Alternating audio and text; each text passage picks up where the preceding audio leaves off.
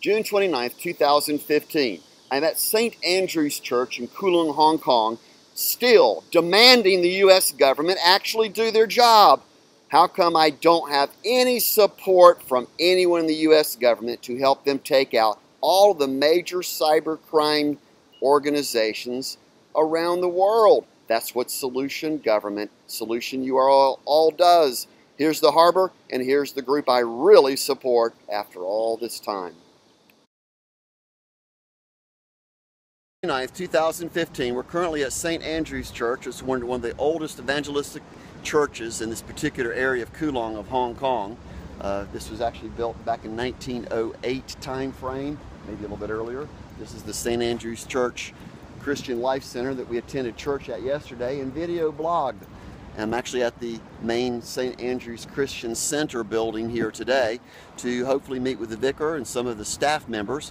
I was up on third floor, second floor, and actually a couple of other floors uh, talking about the ministries that I have completed that are for worldwide use.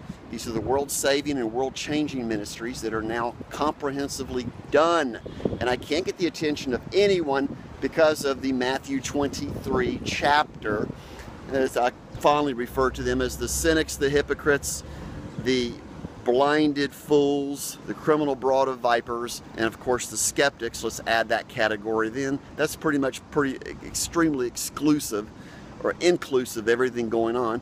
And I'm still trying to get the U.S. government's attention, which is why I called the local consulate again today, called them Friday and again today, to simply debrief them. It's going to be so easy for them to arrest all these different people that personally signed, and I call the word criminally incompetent, which is a violation of federal law, uh, all the different crimes they committed against me personally, as well as millions of other people, which is the end result of solutiongovernment.com, New Zion 2, and it's secular and non secular, which means it applies to everyone, regardless of who they believe their mutual creator might be. For indeed, he does walk among you ministering to you just like Jesus Christ did 2,000 years ago. Are you part of the body of Christ? Are you part of the mutual creator?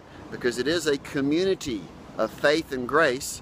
That's what UNIocracy.com is. It's a new form of a government that indeed is inclusive, uses technology for the citizens to hold every single governmental employee and even corporate executives, holds everybody accountable at all levels with the simple use of common sense, biblical principles, and the use of technology. This has never been successfully put into production and deployed.